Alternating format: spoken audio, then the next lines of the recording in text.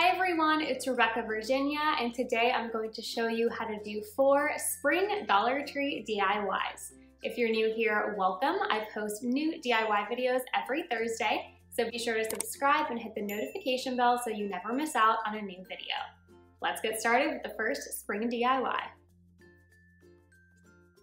The first spring DIY is a garden gate bunny. Here are all the supplies you'll need to recreate this DIY on your own.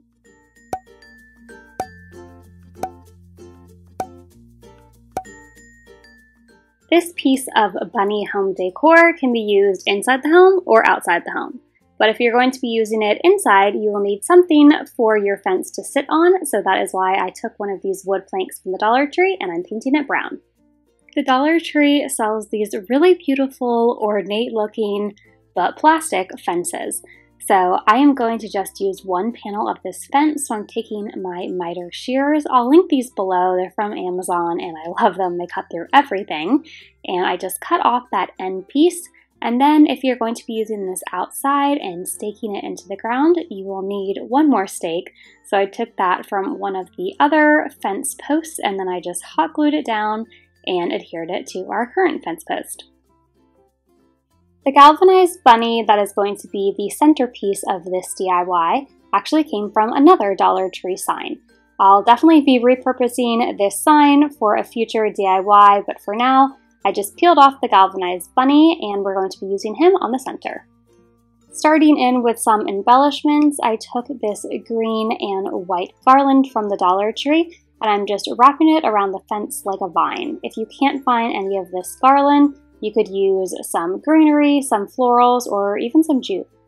I wanted this to look like a garden fence or a garden gate. I was definitely going for farmhouse secret garden vibes. So to achieve this, I took these gorgeous floral picks that came out recently at the Dollar Tree and I'm just clipping them into three different sections and playing around with how I like them laid out.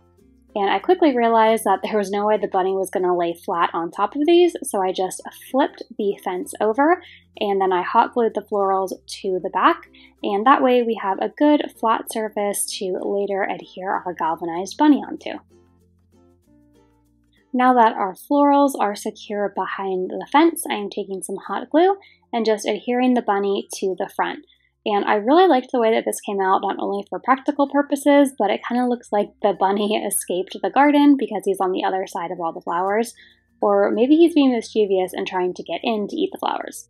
Who knows, but either way, I think it came out really cute. And to add a bit more of a farmhouse feel, and to dirty it up because this is supposed to look like it's the fence to a garden, I took some brown paint and just distressed all around. If you're going to be using this DIY outside, then at this point you are done and ready to stake it down into the ground. But if you're going to be using it inside like me, you're going to take some miter shears or some industrial strength scissors and cut off the stakes before adhering it down onto the wood plank.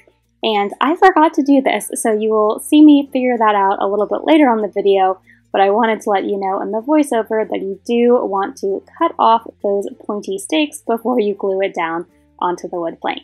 And now I'm just covering up the area that I hot glued and the entire bed of the wood plank with some Spanish moss.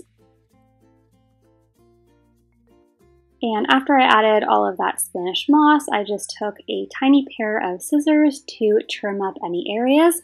And I realized that there was a large blank space in between where our fence was and the moss, which I then realized was because I forgot to take the stakes off. So I put a flower there and then it dawned on me that, oh yeah, I need to cut these off. So I went back in with those same miter shears from earlier and I just cut off that little section and cut off down below. And then I was able to hot glue our fence properly onto our wood plank. And it just took a little bit of messing around with the Spanish moss, but it all worked out. Hot glue fixed everything, and I was able to get that back into a place that I liked. And those are all the steps you need to recreate your own garden gate bunny. Let me know in the comments down below if you plan to use this outside or inside. The next DIY is a piece of spring home decor that uses a pizza pan from the Dollar Tree. Here are the other supplies you'll need to make it.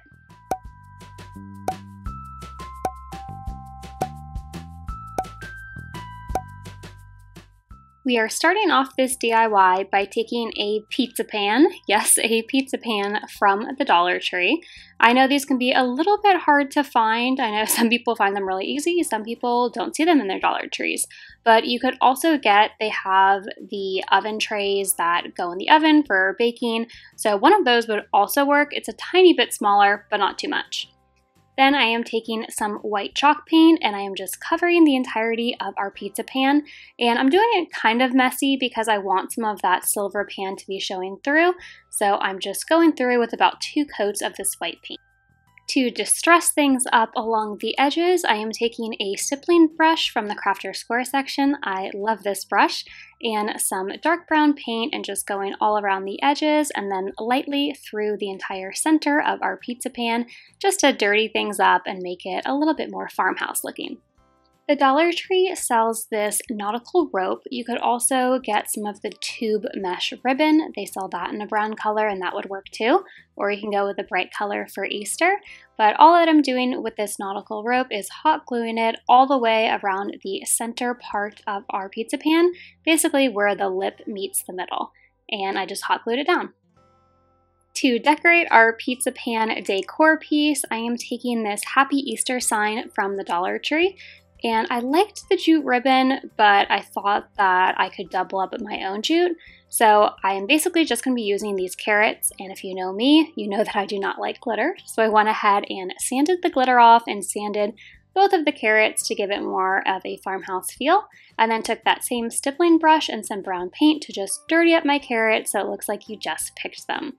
Then I did end up making my own jute bows and hot gluing those back down into place. When I sanded off all the glitter, it also made the Happy Easter a little bit more difficult to read. So I took some of this off-white paint that I had and a paintbrush and I just went over the lettering with that white paint so that the Happy Easter would really pop. To match the green on our carrot tops, I wanted to have a green bow.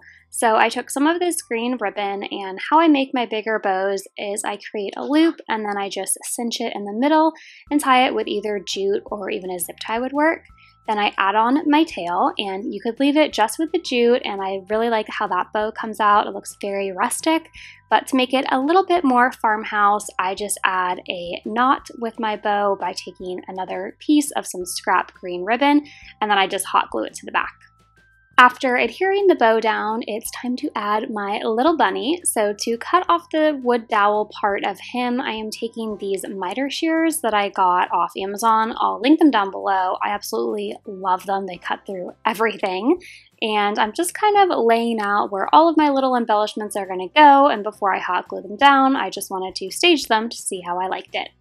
Then I'm taking my hot glue and starting off with the carrots and adhering those down and I felt like I needed a little bit more down by my bunny. There was too much extra space, so I added a bit of Spanish moss, and then I glued down the carrots and the bunny. I love this DIY because it's so quick and easy and you can customize it to fit your style.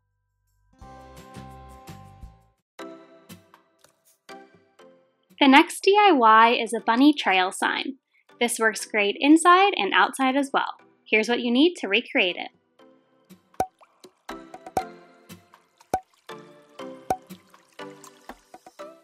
For this DIY, I am taking a wood arrow sign that I found in the Crafter's Square section of the Dollar Tree.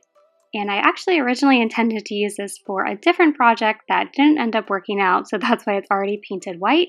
But I went ahead and painted it with one more coat of a brighter white, and then I took a stippling brush, also from the Crafter's Square section, and went all around the edges with a dark brown paint to distress up the sign.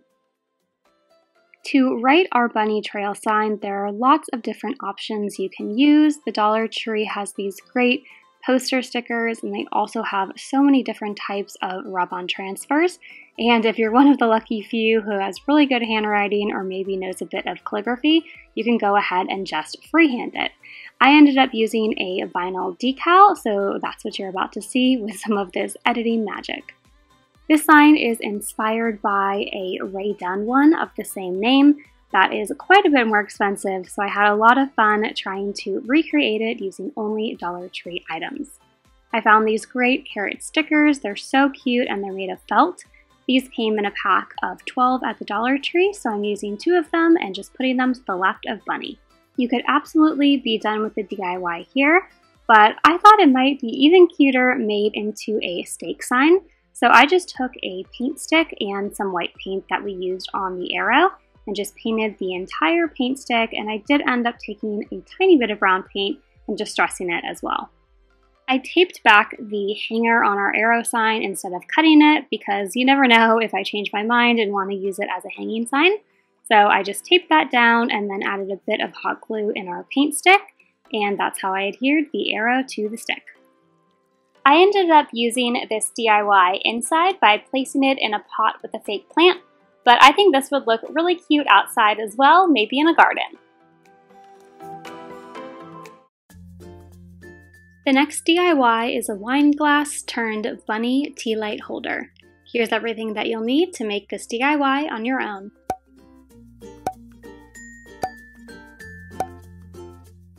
To start off this adorable bunny DIY, we are going to take some white paint and paint the inside of our wine glass.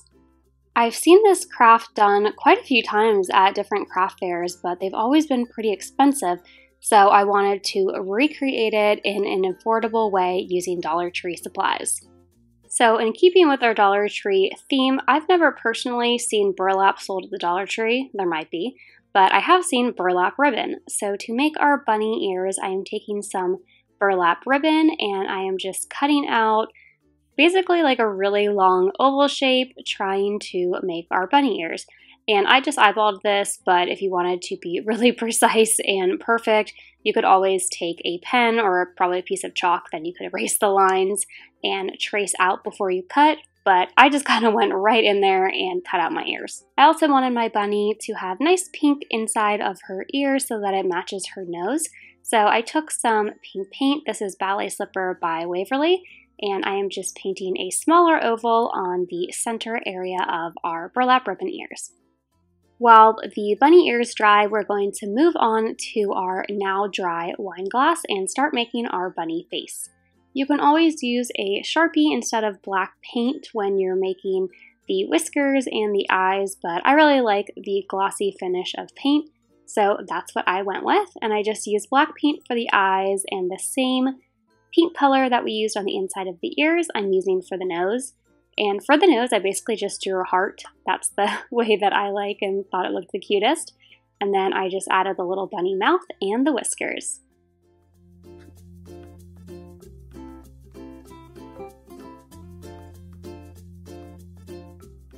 By this point, my bunny ears have all dried, so I'm just taking them and trying to see where I best want to position them you want them far enough down the glass that it fits with the bunny face, but you also don't want it too far down because then you're going to see a lot of the wine stem.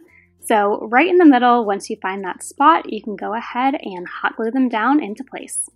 Then I wanted to give my bunny a nice pretty bow, so I took this pastel plaid ribbon from the Dollar Tree and I just made a really simple bow using jute to tie it in the center, and then I hot glued that to the center of our bunny's ears. This is a quick and easy Easter DIY using a lot of materials that you probably already have in your house. Thanks for watching. Until next time, keep searching, keep creating.